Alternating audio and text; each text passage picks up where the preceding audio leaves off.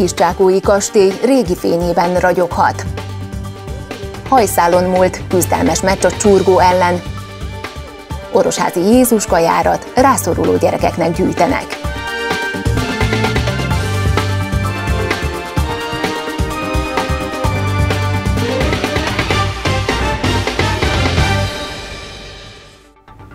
Jó estét kívánok! Köszöntöm Önöket az Orosházi Városi Televízió keddesti híradójában. Lássuk is legfontosabb híreinket. A Huba utcán aszfaltoznak, a szőlőkörúton a tervek szerint a jövő héten kezdenek, városszerte folytatódnak a csatornázási munkálatok. A szakemberek fokozott óvatosságot kérnek a közlekedőktől. A legfrissebb tudnivalókat gyűjtöttük össze. A csatornaépítési munkák után a kivitelező SA konzorcium néhány helyen már megkezdte a helyreállítási munkákat. Múlt hét a Huba utcán a két nagy lámpás kereszteződés közötti szakaszon került rá az új aszfalt a korábban felbontott úttestre. Itt a régi csöveket cserélték ki, és a munkák elkészülte után most már a felbontott sávot is leaszfaltozták. A szőlőkörúton is folytatódik a félpályás helyreállítás. A csatorna fektetés által érintett sávban a régi aszfaltot néhány hete már felmarták, ott most rétegrend kialakítási munkákat végeznek és az aknákat szintezik. Amint ez kész, várhatóan november 25-én hétfőn elkezdik az aszfaltozást. A Szőlőkörúton a Csizmadia Sándor utca és a Szent István Király utca közötti részt újítják fel. Ezzel egy időben a felüljáró előtti Tátra utca és a felüljáró mellett az Iglói utca felbontott szakaszára is rákerül az aszfalt. Új gépjárműre pályázna az önkormányzat, így segítenék a tanyagonnoki szolgálat munkáját. A maximum nettó 5 millió forint értékű terepjáró beszerzése esetén az önkormányzatnak az áfát kell vállalnia. Erről is dönt a testület november 22-i soros ülésén. A pénteki tanácskozáson 10 nyilvános pontról tárgyalnak a képviselők. Több önkormányzati rendelet felülvizsgálata és módosítása is napirenden van. Döntenek likviditást biztosító hitelről és hulladékgazdálkodási KFT alapításáról. A 9 órakor kezdődő ülést élőben közvetítjük itt a Városi Televízióban, illetve online az Oros Cafén. Még az idén új tulajdonosa lehet a Kiscsákói vadászkastélynak. Varga Miklós az egykori Geist kastély korhű felújítását tervezi. A műemlékvédelem alatt álló jövőre 150 éves épület nagyon rossz állapotban van. A romos kastélyból mintegy négy év múlva lehet a falusi turizmus keretében szálláshely. A Kiscsákói kastély jövőre lesz 150 éves. Történetéhez hozzátartozik Battyányi Íből Geist neve, és történetében 2013-ban új fejezet kezdődhet. A mára elhagyatott romos épület falai még masszívan állnak, a főpárkány alatt nyomokban látható a virágos alakos díszítés. De a tető életveszélyes, talán már az idei első hó súlyától összeomlik. 1864-ben Íből Miklós terve alapján építették át a Kiscsákói vadászkastélyt. Az egykor szebb napokat látott épülettel korábbi tulajdonosa halála óta senki nem foglalkozott, így mára siralmas állapotba került. Az épületben óvatosan, a fejünk felett megrodjan tetőt folyamatosan kémlelve lépkedtünk. Menthetetlen ez a tetőszerkezet, de itt körbenézni gyakorlatilag mindenhol pusztulást látni. Ő Varga Miklós a leendő új gazda, aki körbevezet a vadászkastélyban. Egy évig kutatta az előző tulajdonos külföldön élő örököseit, végül kitartása eredményesnek bizonyult. Még az idén megköthetik az előleggel erősített üzletet, és a Budapest helyett megyénket választó Varga lehet a kastély új tulajdonosa. Kastélyt szeretném magántőkéből és egyéb állami forrásokból felújítani, és eredeti rendeltetésének vadász kastélynak és e, falusi turizmus keretén belül vendégszállás kialakítását szeretném itt tervezni. Most már elkezdtük az állapot megóvó intézkedéseket. A kastély műemlék, így nem mindegy a hogyan, és persze a miből sem. Varga Miklós az önerő mellett pályázati forrásra is számol, komoly anyagot készít, hogy jövőre állami és uniós összegeket fordíthasson a Kiscsákói kastély életre keltésére. Korhűnek szeretném, annyira nem ismerem az épületnek a történelmét, és ezt majd a történészek és a tervező tervezési munkák befejeztével fogom látni, hogy hogy fog kinézni. Mert nekem az a lényeg, hogy korhű legyen, szép legyen, és megfeleljen a rendeltetésének. Azon belül, hogy, hogy épp a falak milyen színűek, hány helységből áll, nekem teljesen mindegy. Hogy korhű legyen, abban az örökségvédelmi hivatal mellett szakemberek sora segíti majd az új gazdát. Jelenleg az épületen állagmegőrzést végeznek és rendezik a környező területet is. A források tükrében aztán elkezdődhet a Kiscsákói kastély felújítása. Azt szeretnénk elérni elsősorban, hogy megközelítőleg három-négy év múlva már itt egy rendezett parkos erdős terület legyen, és mellette a kastély felújítását is szeretnénk addigra már befejező szakaszban látni. Most még meglehetősen romos állapotban van a Kiscsákói kastély, de három-négy éven belül felébredhet Csipke Rózsika álmából. Varga Miklóst felújítási tervei kivitelezésében a Békés megyei történészek, vadásztársaságok és hivatalnokok is segítik. Három-négy éven belül a nagy közönség újra a régi fényében láthatja a Kiscsákói kastélyt.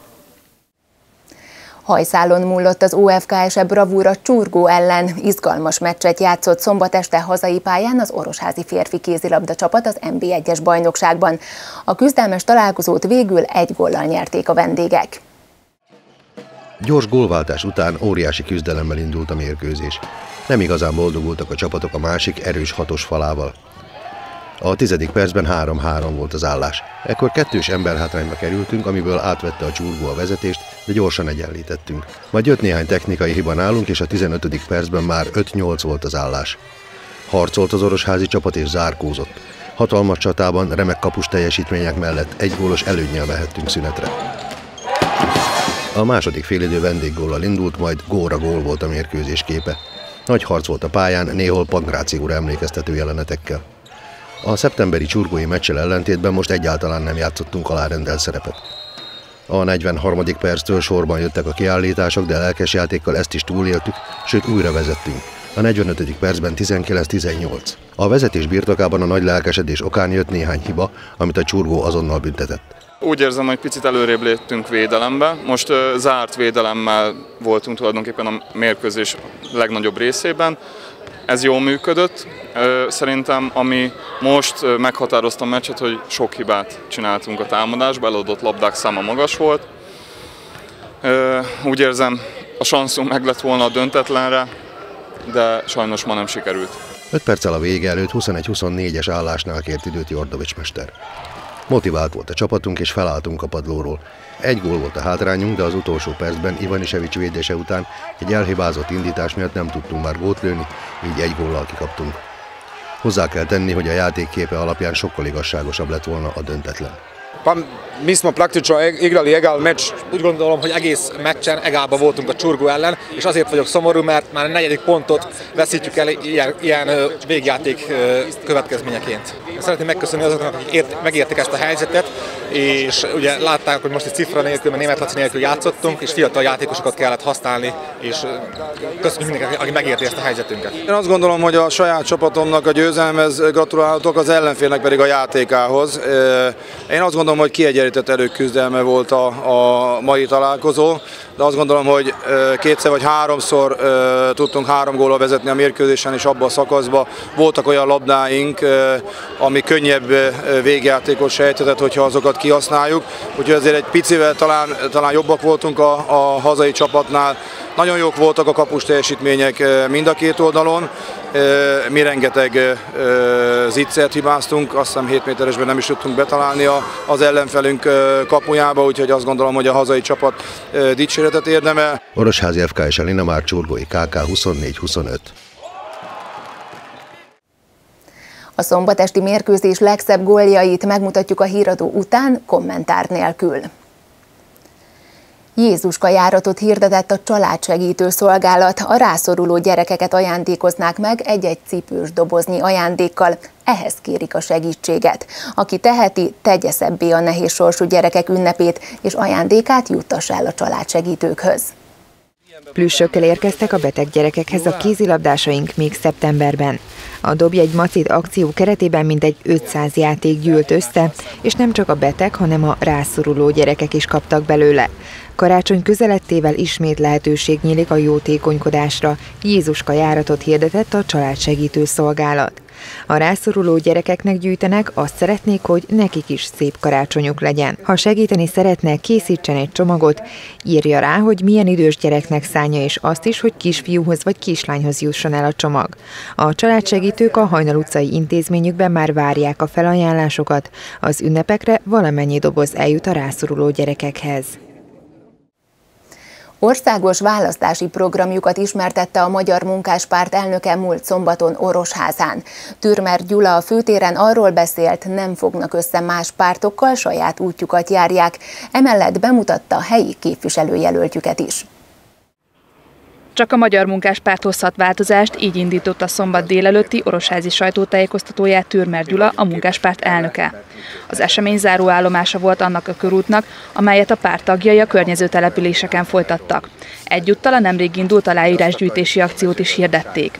Megkérdezzük az embereket, akarnak-e élhető Magyarországot? Akarják azt, hogy mindenkinek legyen munkája? Akarják-e azt, hogy olyan fizetésük, jövedelmük legyen, amely mellett napi 8 óra munkából meg lehet élni, akarnak egy olyan országot, ahol nem szólnak bele a mindennapjainkba. Erről kérdezzük meg az embereket. Bemutatták a körzeti választókerület képviselőjelöltjét is. 2014-ben Gál Ferenc indul majd a munkáspárt színeiben a négyes számú választókerületben. A jelenlegi problémák egyik helyi megoldásának a termelőszövetkezetek kialakítását látja Gál Ferenc nagyobb összefogást próbálnánk az embereknek javasolni, mert tehát egységben nagyobb erőt tudnak kifejteni, mint például hegyenként gazdálkodnak. Lehetetlen, kimegy a határba valaki, mondjuk én a határt is járom sok helyen, tehát gazos földek, bebűveletlen területek, és, és nem tudnak miből jövedelmet csinálni.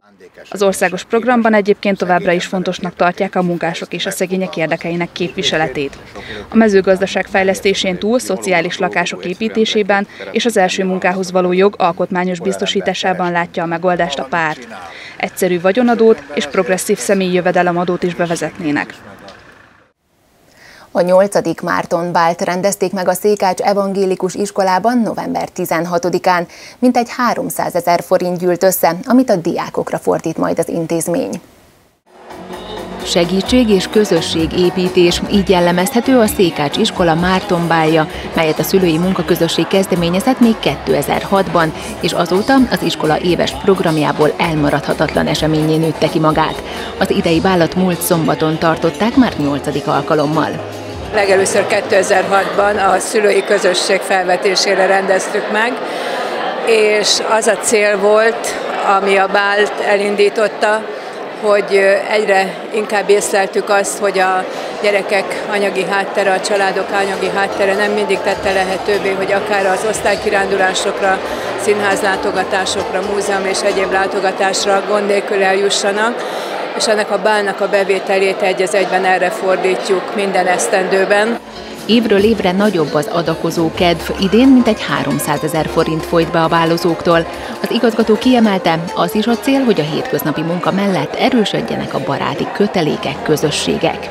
A fő cél mellett az is cél, hogy olyan közösségek erősödjenek a hétköznapi egymás mellett élés, azaz a munka mellett, ami valóban alkalmat ad arra, hogy az asztalnál, fehér asztalnál, étel mellett egy pohár borral a kézben kocintva beszélgessünk nem csak az iskolai dolgokról, hanem egyebekről. A visszatérő vendégek minden évben hoznak magukkal újakat, így az ünnepi zenés, táncos műsort és a vacsorát követően ebben az évben már 130 fő válozott a Székács iskola dísztermében szombat este. Nyerőállásból veszítette el hétvégi bajnokiát az Orosháza FC. MB3-as foci csapatunk a Tolna megyei Bölcske ellen lépett pályára szombaton a Mátrai stadionban. A találkozó 2-1 arányú vendégsikert hozott. Az OFC november 24-én vasárnap Kispesten játszik. A 14. fordulóra került sor az MB3-as labdarúgó bajnokság középcsoportjában. A Tolna megyei Bölcske látogatott a Mátrai stadionba. Csapatunk nyert helyzetből szenvedett 2-1-es vereséget a piros felső részben pályára lépő vendégektől. A 22. percben a negyedik szögletünk gólt eredményezett. Makra pontrugását Csáka kapufára fejelte, a kipattanó labdát olákotolt közelről a hálóba. Ezután kitámadott a bölcske, és a 43. illetve a 48. percben szerzett gólokkal megfordította az eredményt. Csapatunk derekasan küzdött, Az utolsó negyed órában kapujához szegezte a vendégeket, de két kapufán kívül gólt nem tudott elérni, így elvesztette a mérkőzést. Még egyszer a végeredmény Orosháza FC Bölcske 1-2. Csapatunk november 24-én Kispesten lép pályára idegen nyelvi hetet tartottak a református iskolában. A diákok plusz információkat szereztek, elmélyítették tudásukat és gyakorolták az angol nyelvet. Az alsósok körjátékokat játszottak, a felső tagozatosok pedig angol nyelvű prospektust készítettek. A múlt heti program témája az iskola volt, a feladatok nagy része is e köré épült. Az iskola volt a fő témája az idegen nyelvi hétnek a református két tanítási nyelvű általános iskolában. Az alsósok plakátot készítettek az iskoláról, a felsősök pedig prospektust, ami az intézmény életét mutatja be. Az angol nyelv gyakorlása mellett új ismereteket is szereztek a tanulók. Minden fél évben más-más téma körül forognak ezek a hetek. Most az iskola a témánk. A gyerekek különböző programokon vehetnek részt, feladatokat oldanak meg, és természetesen azért, hogy plusz információkat szerezzenek a témáról, elmélyítsék ismereteiket, és nem utolsó sorban gyakorolják az angol nyelvet. A múlt heti programot egy nyertes pályázatnak köszönhetően rendeztek meg. Olyan programokat szerveztek, amely a tanulók életkorának megfelelő, így az alsósok olyan körjátékokkal ismerkedtek meg, amit a hasonlókorú angol iskolások játszanak. Az idegen nyelvi programok szervezésében és lebonyolításában sokat segítettek a nyelvi lektorok is a felsősök az iskola életét mutatták be. A felső tagozatosok egy prospektust készítettek iskolánk életéről, hogy bemutassák iskolánkat, illetve riportokat készítenek pedagógusokkal, diákokkal angol nyelven, illetve dolgozunk egy iskolánkat bemutató rövid kisfilm forgatókönyvén is. Az iskolában legközelebb tavasszal rendeznek idegen nyelvi hetet új témákkal és új játékokkal. A Városi Televízió keddi híradójának legfontosabb híreit nézzük még egyszer, röviden.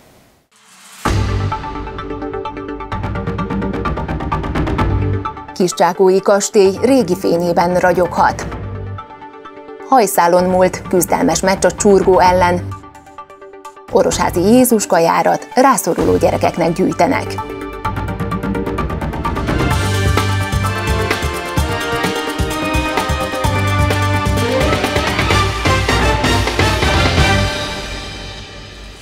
Az Orosházi Városi Televízió keddesti híradóját látták, melyet kommentár nélkül című műsorunk követ. Tévézzenek velünk viszontlátásra!